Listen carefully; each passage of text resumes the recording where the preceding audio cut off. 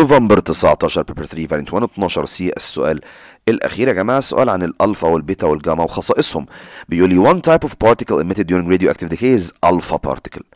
ممكن تكلمني عن ما هي ال alpha particle وال ionization ability بتاعت ال alpha particle وال penetrating ability بتاعت ال alpha particle من عينيا. ما هي ال alpha particles يا جماعة؟ هي اتنين protons واتنين neutrons شبه مين؟ شبه ال helium nucleus. وليست ال helium atom ال helium nucleus. تمام.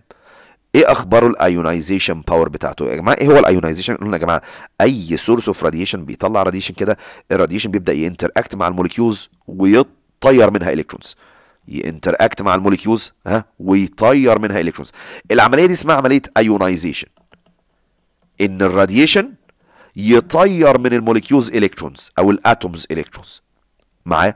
دي اسمها ionization مين بقى الأقوى ionization الألفا يا جماعة تقيل و charged وبطيء وكبير. عشان كده يا جماعة أعلى ionization power بتكون الالفا أعلى من البيتا والجاما طب بالنسبة للاختراقية الألفا يا جماعة ما بيعرفش يخترق ال paper.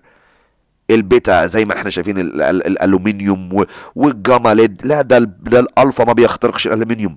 آه sorry آسف الألفا ما بيخترقش الورق. معايا. عشان كده يا جماعة ال penetration بتاعته قليلة جدا. هنقولها كالآتي يا جماعة. helium nucleus and it contains two protons and two neutrons. ده لما نتكلم عن ال nature of alpha particle. ال ionization ability طبعا strong ionization power. ال ال ال بالنسبة لل penetration الاختراقية لا يا فندم اختراقيته ضعيفة خالص خالص خالص. دي إجابة هذا السؤال عن ال alpha particles بكده نكون أنهينا هذا الامتحان. نوفمبر 2019 بيبر 3 فاريانت 1